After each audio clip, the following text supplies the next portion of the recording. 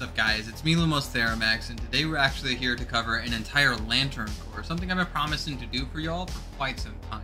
And today we're specifically here to talk about the Red Lantern Corps, which is definitely unique amongst all the corps, and I'm here to explain why. So, to give you an idea of how we exactly got to the Red Lantern Corps, essentially we had this group of people called uh, the Five Inversions, and Atrocitus was actually the fifth to join them. As we all know, Atrocitus is essentially the guy who really formed the Red Lantern Corps. Well, how did he do that? Well, using the blood magics that the other four inversions had taught Atrocitus, he basically utilized both Owen science and magic from those uh, from the blood mages known as the the five inversions and he coalesced them together. And using the blood of the other inversions, because he had to kill them to get there, he essentially formed uh, the central power battery in the first rings that he really had. And his entire ideology with the entire Red Lantern Corps was essentially the idea of, hey, we're going to roll out in the universe and right all of the wrongs of the entire universe through the concept of rage because if anything he was angry at the guardians for having wiped out his entire sector uh, full of its of its life with the manhunters albeit there's a lot going on there. But he wanted to enact vengeance or rage against the guardians of the universe for said crimes and thus that's where both of uh, the only surviving members of space sector 666 that being the five inversions had come from but creating this new corps, they go out and they, they spread and enforce rage. Where are they now in the current day? Well, even in the current day, they appear to be their own unique faction amongst uh, many of the different factions, including the Green Lanterns and uh, the Sinestro Corps uh, within this massive galactic government that exists um, that overlooks the entire universe and it appears that they at least have some form or sway within this new system or this society that exists.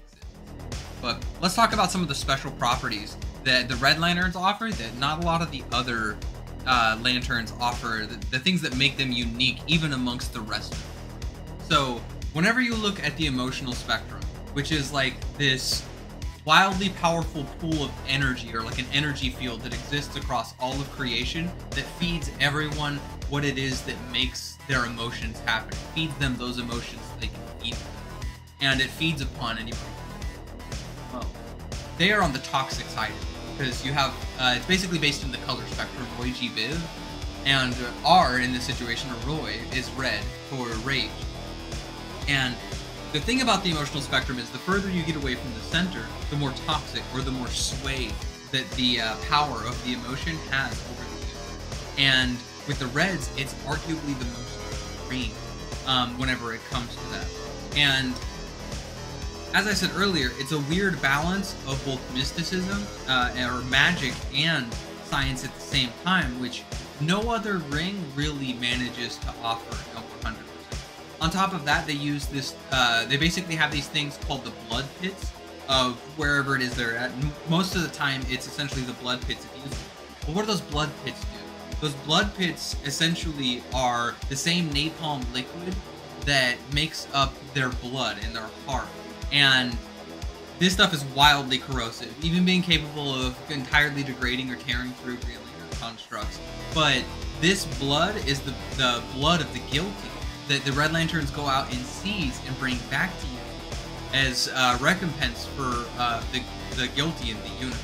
This powers the central power battery is something that you don't really see amongst a lot of if I'm being 100%. And depending at what point in time uh, you're looking at them, they may even have a Rage Mother, which is essentially like their version of what a Guardian should be.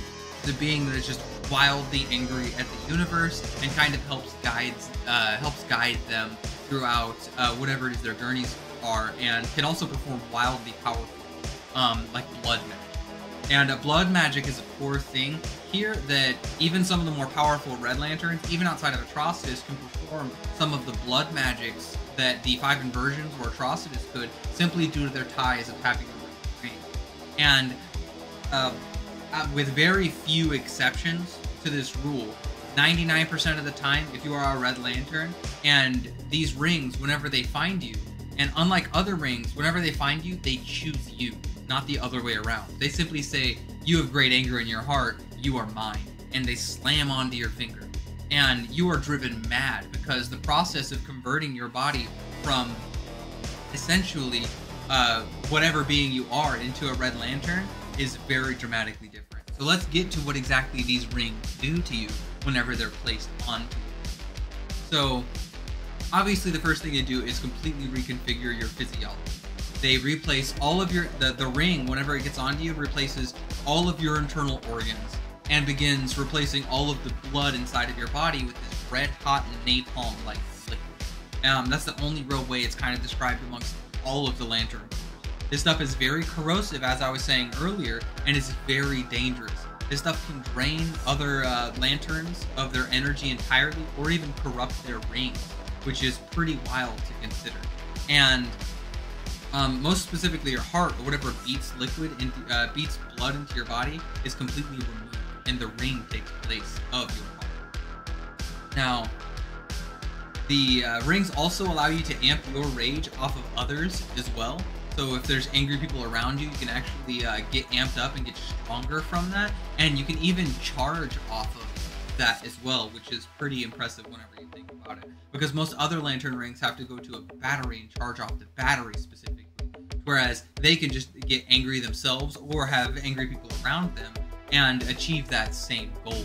But on top of that, uh, unless you're one of the more recent lanterns who messed with Rankorr and took his blood, most Reds don't have the mental uh, capabilities of creating constructs. It's just like a weird thing with Red Lanterns.